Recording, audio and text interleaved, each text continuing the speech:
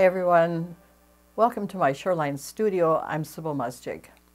Today we're looking at patterns. Now it's all about repetition. And in nature, animals particularly use camouflage to hide themselves in the environment or uh, to escape predators and, uh, and for predators to escape detection by their prey. So lots of interesting patterns. Um, zebras, for example, uh, even though they have great stripes and uh, very prominent patterns, in the environment they sort of disappear. So nature uh, deals with pattern in a very sp specific way. Now, in plants, for example, veining uh, is used to transport nutrients, water, and to store seeds. We have things like pine cones who have very distinctive patterns and dandelions, uh, which are lovely uh, both as photographs and in, uh, in printmaking. Now, man-made patterns, on the other hand, can be done with drawing materials, paint, special tools, and uh, different ways of working. We're also going to work today with embossed papers. And uh, I have, um, this is a little leaf press that my husband made for me. And uh, it just, uh, well, I haven't got it quite lined up, but I have papers in between and the leaves sit on in between the papers and emboss the paper I found. So that's a very useful tool. Of course, you should always notice things that happen when you're working with art materials and we'll be using pastels to bring some of that out. Now, before I go further, I want to acknowledge uh, some of the people who've influenced um, my artwork, and uh, particularly the monotype. And I have a book with me. Um, this one is by Julia Ayres. She's a wonderful artist, and uh, she, I think, coined the term uh, the painterly print.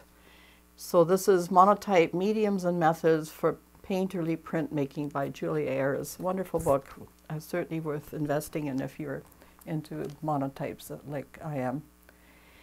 Um, then, of course, I discovered YouTube.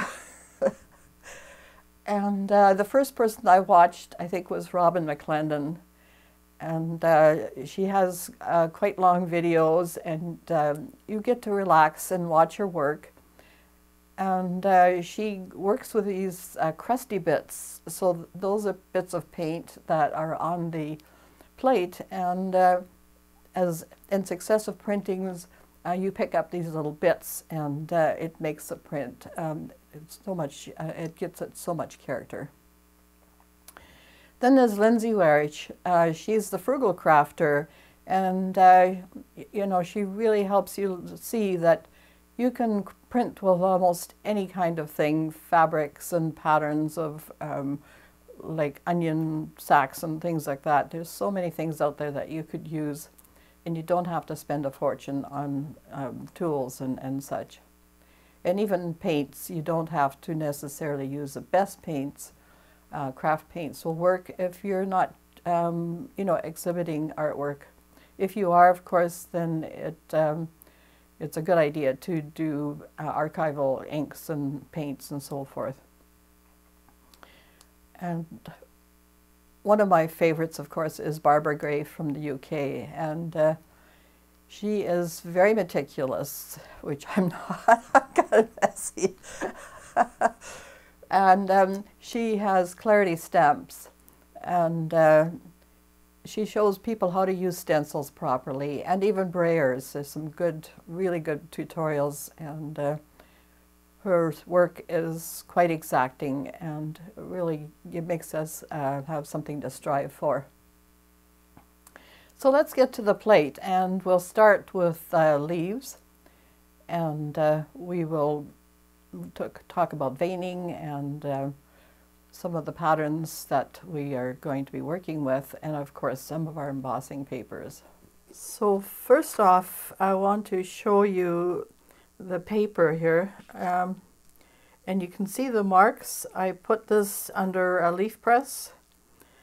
Now a leaf press is fairly easy to do. You just need a couple of boards, some papers in between, and lots of weight on top. Or um, my hubby made me a couple of boards and then just put screws in four corners that you can uh, screw down and that makes a great uh, leaf press. But you can do it in books or whatever. And uh, by having the paper there, you have an embossed image. Now it's hard to see because it is relatively, um, it's white and uh, not so easy to see. So what I'm going to do is I'm going to just make it visible with a bit of pastel sort of like our last exercise. And I'm just going to smudge it on. And now you can see where the leaf was pressed into. That's going to form part of our background.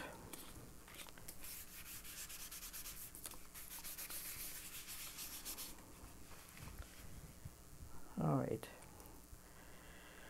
So our leaves here, um, I have variety. What I've done was I've put medium, uh, matte medium. I will always tell you uh, materials I'm using as I as I go along. Uh, people forget when it sort of comes on at the beginning. So this is golden matte medium, and uh, I've just coated the leaf on both sides after it's been put in the press and that helps with uh, longevity because uh, the matte medium makes it sort of a plastic. And then uh, you have a great um, you know stencil here and uh, or mask. Okay so we're going to put the leaf on. I don't I'm not worried about the fact that it's in a certain direction on the on the paper. I'm just going to do some uh, organization here first, see what it looks like. Okay, that's not bad. All right, so then we're going to put some paint on. Uh, as usual, I'm using my golden paints um, and I'm introducing a few of the fluid paints, uh, transparent, red, iron oxide, and I'm also going to be using some carbon black, again, uh, fluid golden, not the open paints like I usually use. So we're going to start off with the transparent iron oxide, which is sort of a yellowish. It's not really all that red. So to get the red tone, we're going to add some alizarin crimson to it. Again, use very little paint. This is my regular golden open paints that last a bit longer. And we're going to roll out our paint here. And any blobby areas, uh, just roll them in a circle so that you work them into the plate.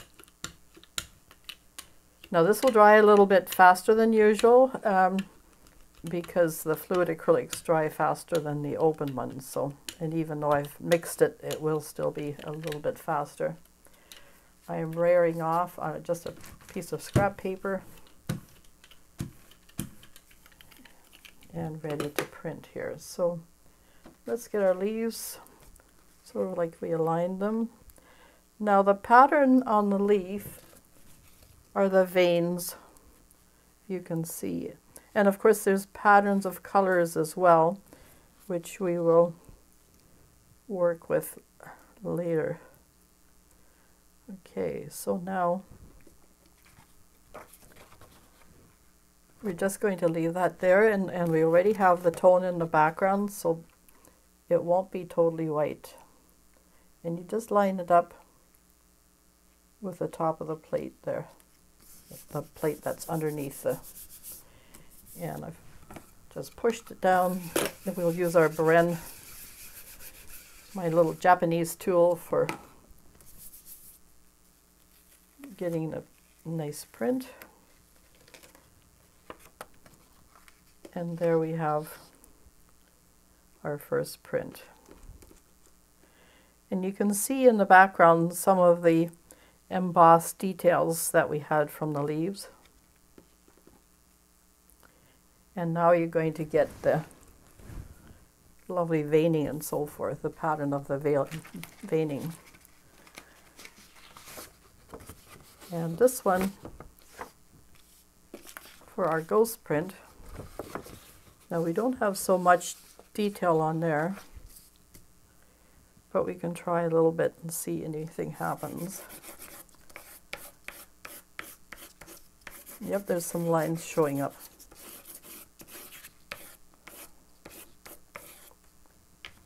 Okay, so let's just smoosh that around.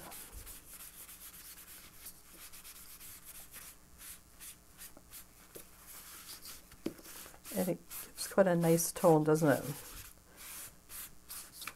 And that leaf, particular leaf, uh, uh, left a great impression. But we'll use it for this one instead. I used it last night and I think it's still wet. okay, let's brayer this.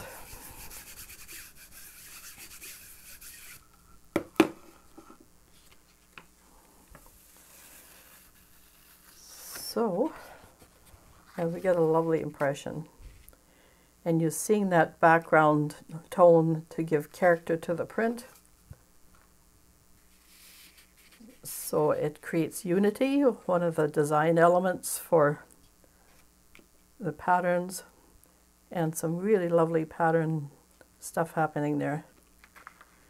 So those two are quite good. Let's go on with more leaves here. Maybe change the pattern a little bit. I'm not going to worry about the background at all. Uh, we've taken off most of the paint and maybe some of the paint that's left on there, we'll do a Robyn McClendon here where she leaves all the bits and pieces and that makes things interesting. So we'll change our direction here.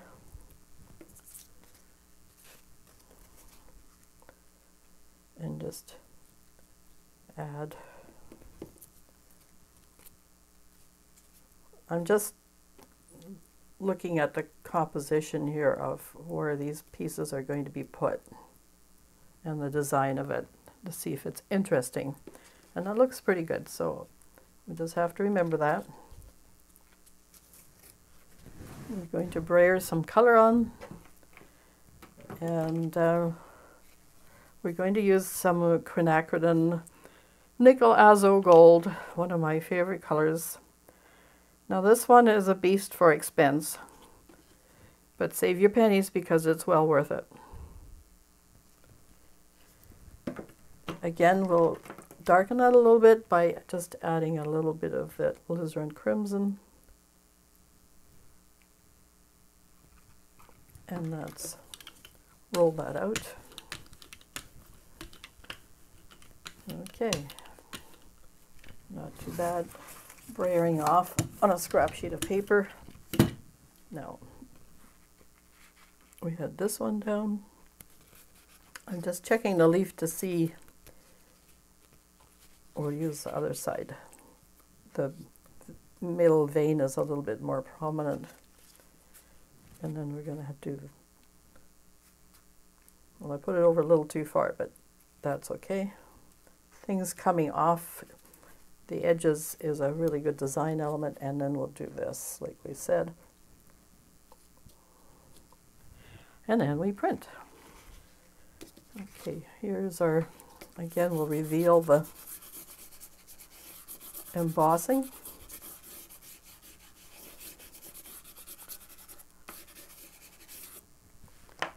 And we'll smooth it out. Give it a lovely tone.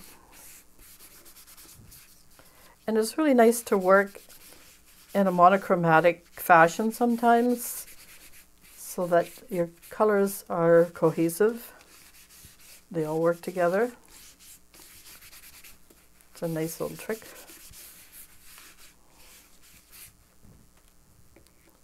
And with color, often less is more. So I'm just lining up the edges of the gel plate and the top of my plexi plate that the gel plate is sitting on. so that it's a nice way to register things if you have to do a second layer.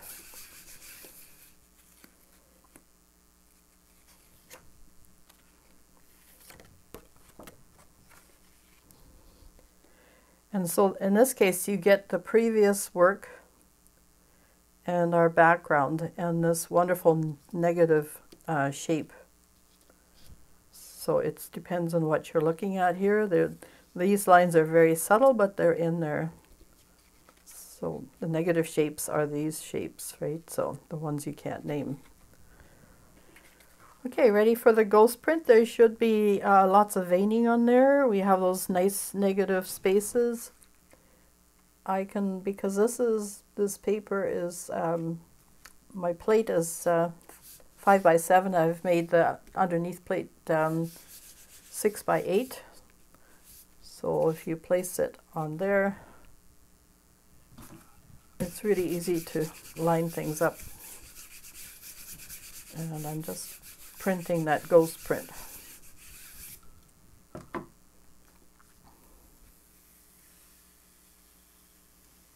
it's a little more subtle you can see the veining. And to get that to work a little bit better, what we're going to do is another layer. We have this lovely veining in here. And of course this piece didn't have any embossing on it, but I can replace the leaves like so.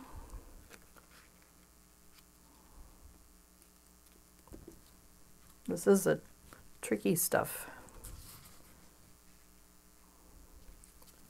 And I have to make sure it's facing the right way.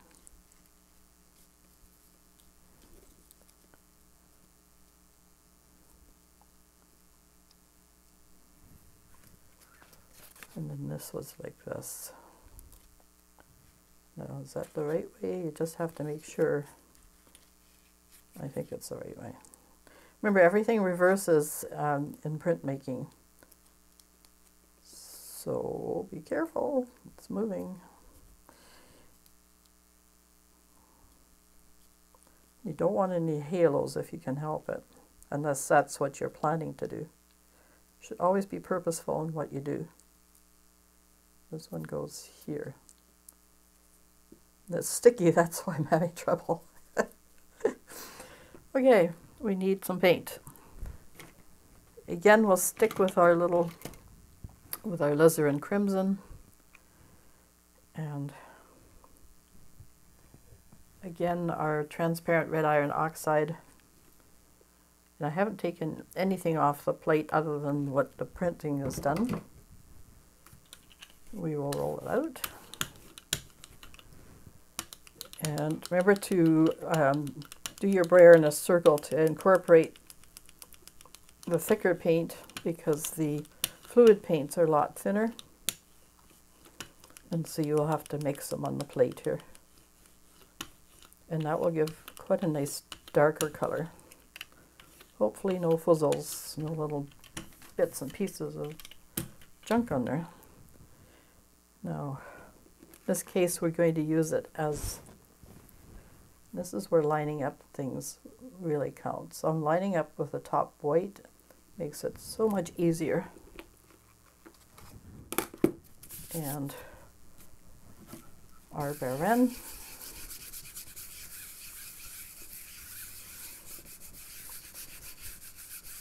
I'm brayering this quite strongly because we want to get the entire impression of everything.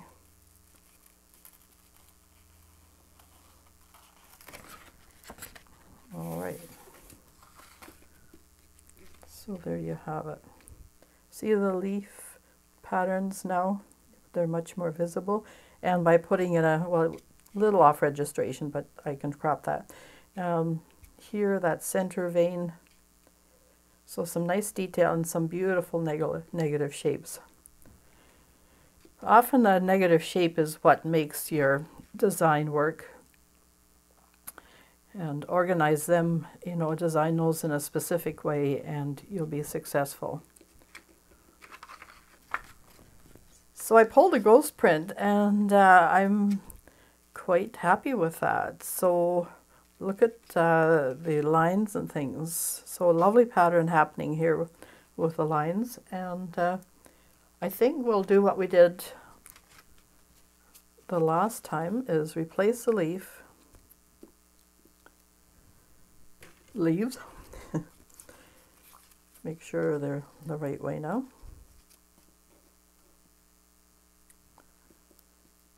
And we'll go in reverse. We'll use the yellow as a background. Make sure that's right. There we go. So we'll have a light background and dark leaves. So I wanted to run that because it turned out so well. Sticky! Okay, we're going to find my nickel azo gold.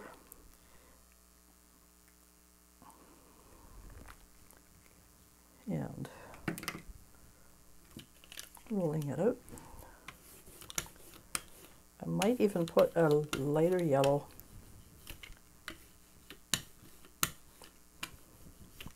These are not your intense cadmium colors, so it's not a bright, more of a natural. We're doing more natural tones today.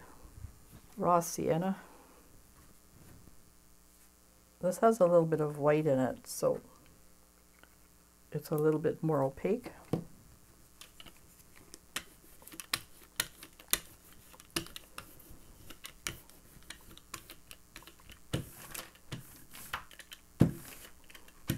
Now my brayering off sheets I often use as well because they can turn up really interesting.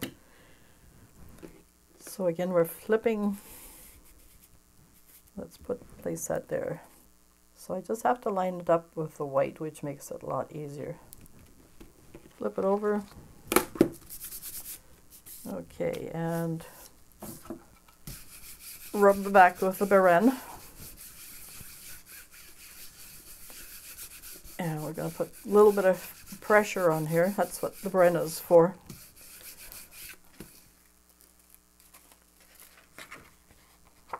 Very nice. We have a little bit of white haloing, but look at how pretty that is. And the two colors go together really well, being analogous. And you can see all the veining, very interesting in terms of pattern. Okay, so now we're finished finally with our leaves. So I have some grouse feathers and as you can see they do have some lovely patterns. They're a little bit ratched because uh, I was working with them last night but they now they really have character so and what we're going to do is I'm going to introduce some Posca pens because they are acrylic and uh, I'm going to look at some of the patterning and just um, for the background just what's called uh, echoing. And uh, just use some of the patterns that I see on the just the marks. Do a little drawing here today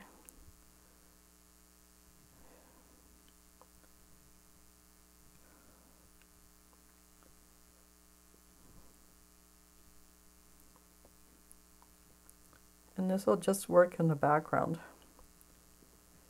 I'm just looking at some of the markings that are on the feathers. And uh,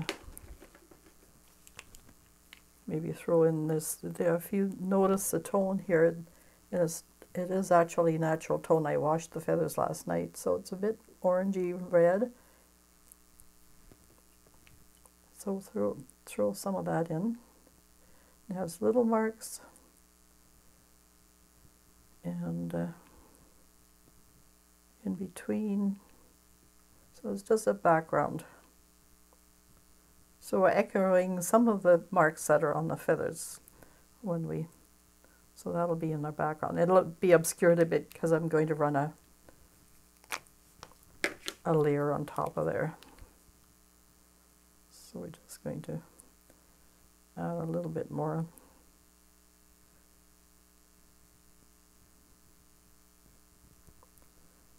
It's sort of in V shapes if you notice. This is a ruffed grouse. My hubby likes to go grouse hunting in the fall and so I get a few grouse feathers sometimes. But mostly we just take pictures. and I'm just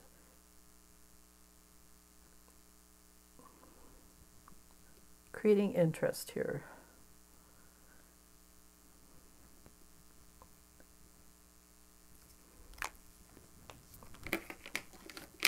So put those aside and those for now.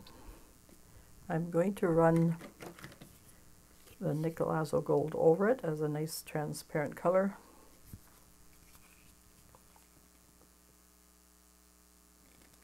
And that will be our first layer.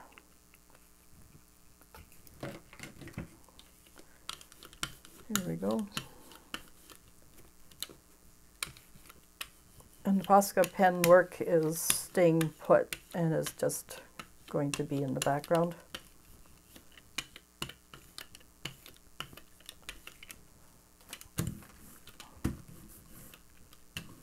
Often we do Posca pen work after the fact, so in this case we're doing it before. I have a nice sheet of paper line up with the top of the plate.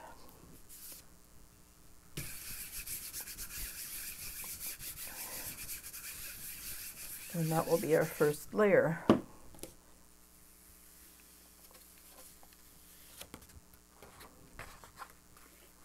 And as you can see, it's quite lovely, almost like cave art in, in uh, tone and character. So we're going to um, so this is what the feathers are going to look like. So we're going to put a darker color on. Again, uh, let's work with our alizarin crimson.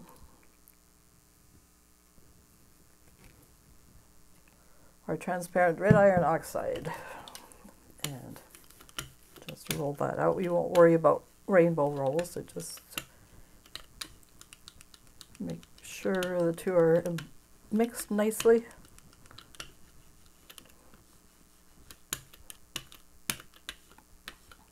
Might even pick up some more on the second pass.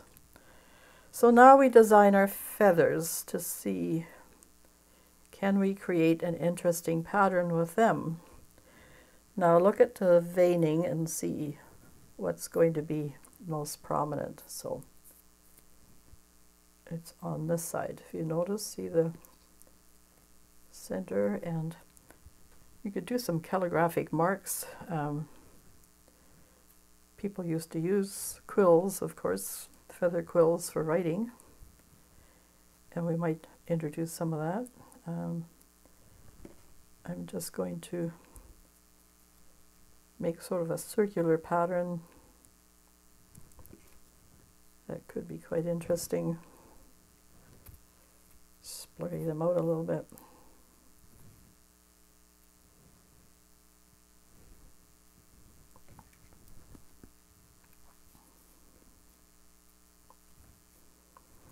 And you should, that's four, right? So you should try and do uneven numbers.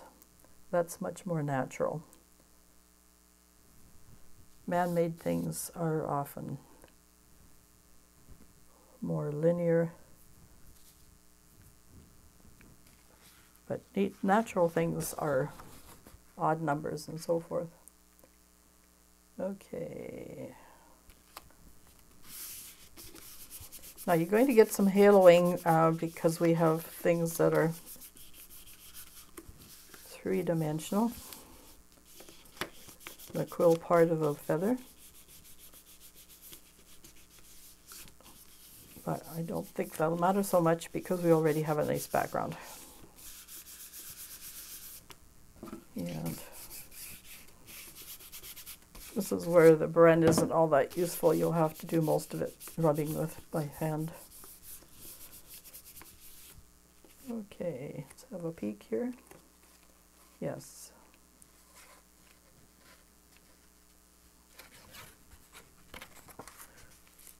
So we have the design of the feathers.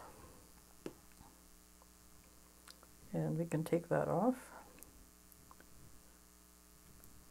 Now we have a choice of leaving it white like that.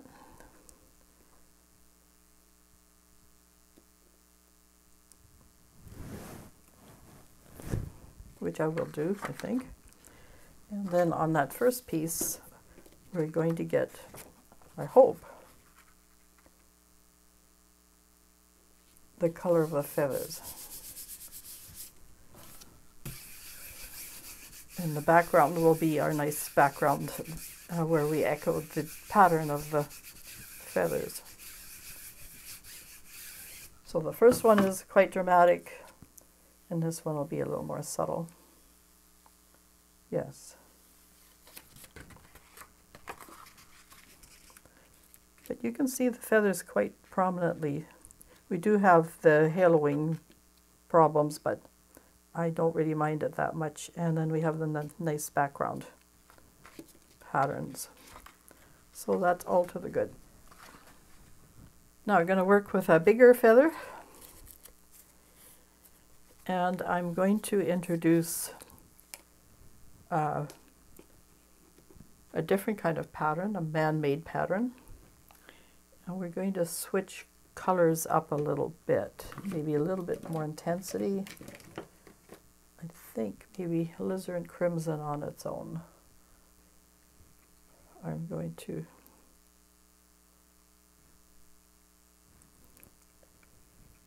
do a couple of things here. Um, I'm going to mix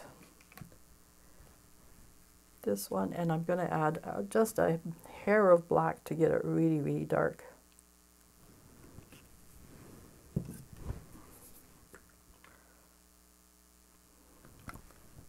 And that will be very intense.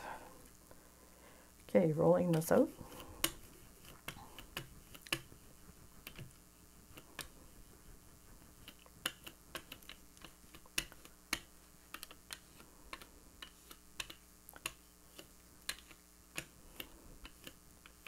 Now we're going to work with two patterns now.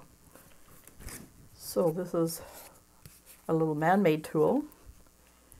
Now the patterns on this feather, as you can see, are angled. See the angles here of the darks? So that's what are we're going to do with this. Again, echoing. It's a nice little compositional tool. And so let's see, we're going to maybe run it this way.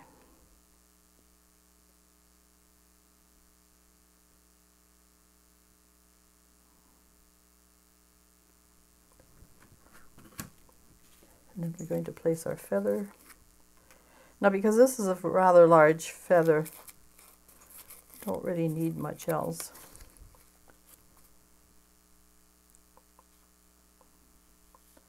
And placing this is going to be a real beast. and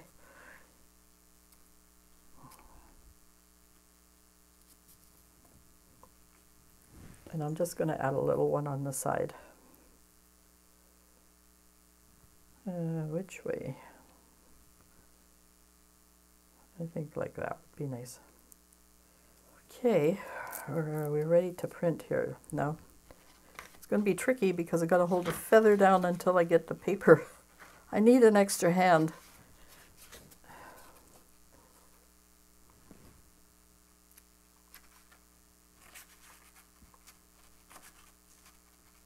There, I think we got it.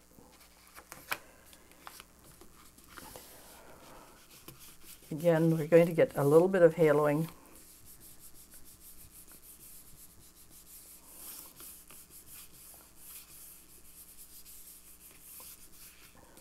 but we'll see what happens.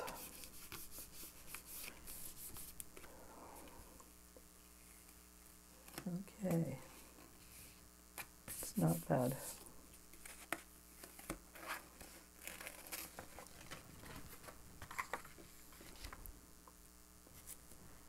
take a ghost print of that.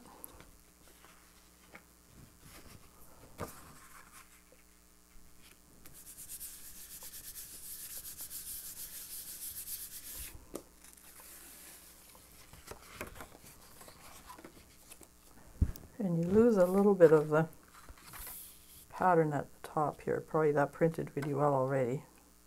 Very interesting. I'm going to see if I can get some of the tone lined up again of the feathers. we'll rub like crazy and we'll see what happens.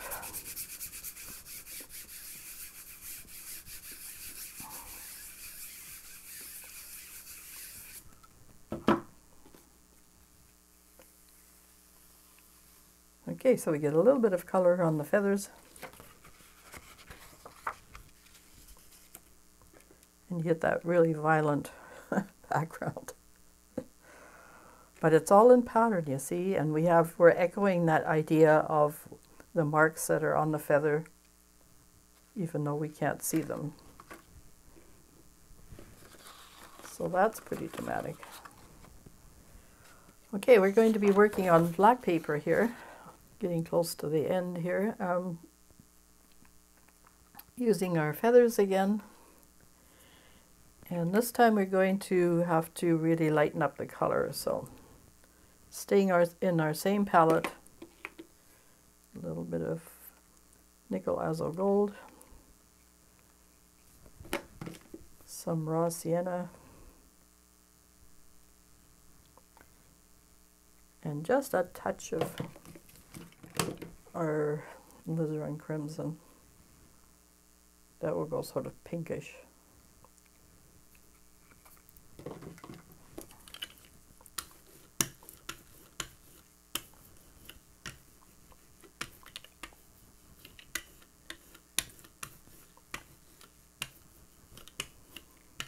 We really have to, don't want to mush the nice colors too much, but otherwise we won't see the feathers at all, so it has to be a little subtle. Layering off. Again, placing our feathers in a nice, interesting pattern.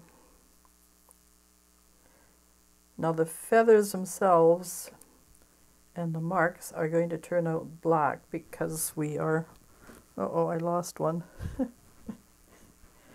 Okay. Oh here we are. One escaped. And we're using a diagonal design here.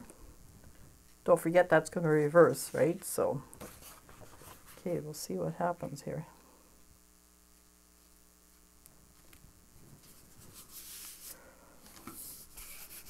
These feathers are fairly flat, so there's not a lot of haloing going on, which is kind of nice.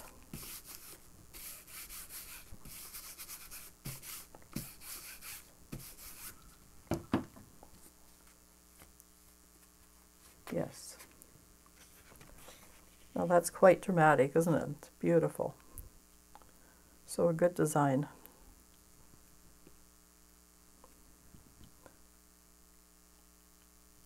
and I won't print the feathers in the black. I like it stark like that.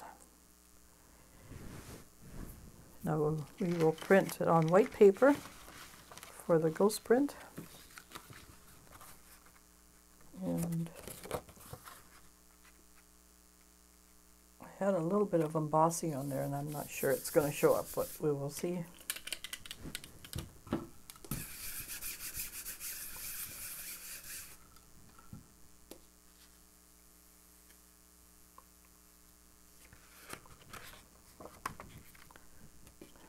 Okay, I, I kind of like it. Um, let's put this aside so we don't confuse the issue. And you can see the feathers. Um, it might lend itself to pen and ink after. Um, I'll think about it. One final. And this is a peacock feather. Now this could be maybe too subtle I'm going to run uh, the nickel azo gold just just a bit of white, I think, or let's see, maybe yellow ochre. It should show up.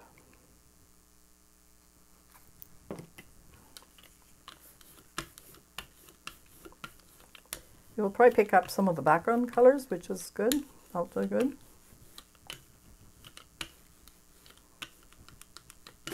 Whoops. Getting carried away.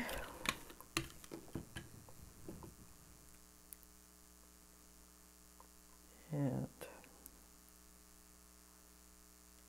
there. And the peacock feathers should turn out black if we're really lucky. And I'm not sure you're going to see the little feathers. It's all interesting. Oh, yes. Okay, let's run that again with a slightly lighter color. It's a bit dark. We'll print the ghost print quickly.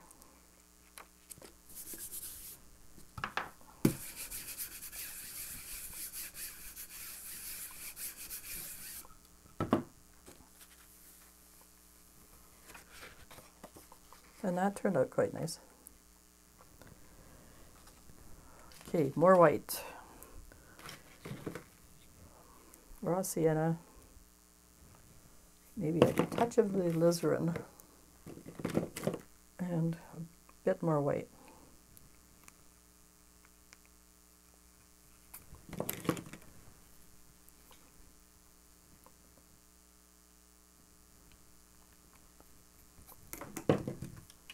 Better.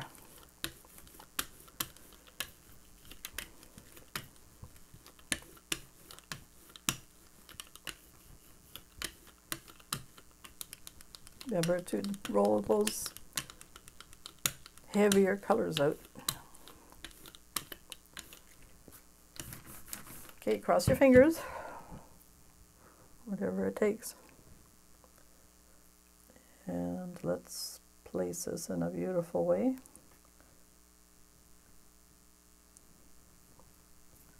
So that the design is lovely. And black paper.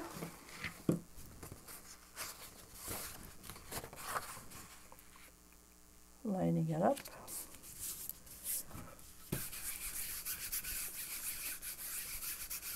Burnishing or brayering so we get a good imprint.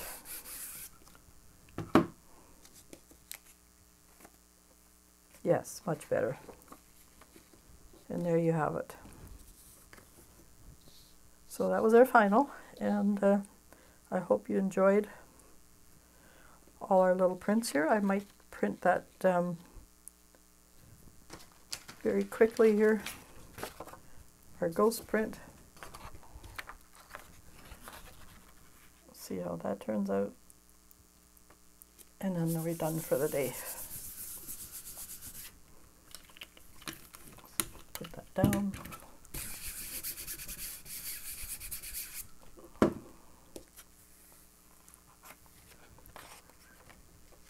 Well, it's a bit subtle, and you can't really put the feather back because you're never going to get it the same, so it'll have to be, it is what it is. So that's it. Well, that was a lot of fun as usual, and I'm so glad you could join me today. Um, of course, uh, working with uh, fluid acrylics for change and uh, our feathers and our leaves and marking making tools. So check this out for yourself and uh, uh, give me a comment when you see the video and maybe post some of your work. That would be awesome. Thank you so much for joining me, and we'll see you another time. Don't forget to like and subscribe. Bye for now.